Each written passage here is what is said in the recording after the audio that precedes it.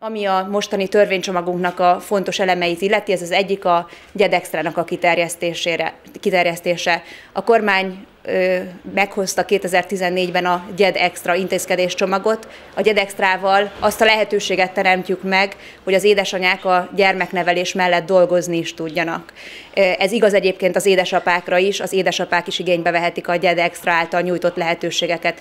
A GED Extra tulajdonképpen azt jelenti, hogy ha valaki egy pici gyermeknevelése mellett visszatér a munkaerőpiacra, akkor nem esik el az őt megillető családtámogatásoktól.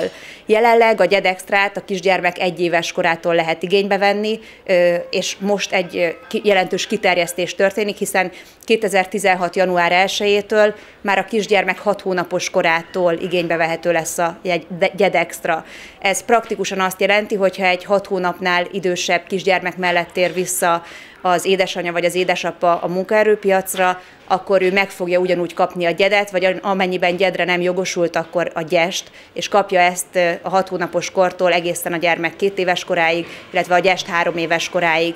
Ez adott esetben, hogyha egy szülő visszamegy a hat hónapos gyermek mellett, akár közel 900 ezer forintos többlet jövedelmet is jelenthet a családnak, tehát bízunk abban, hogy egy komoly segítséget jelent. Fontos, hogy a gyedextra csak egy lehetőség.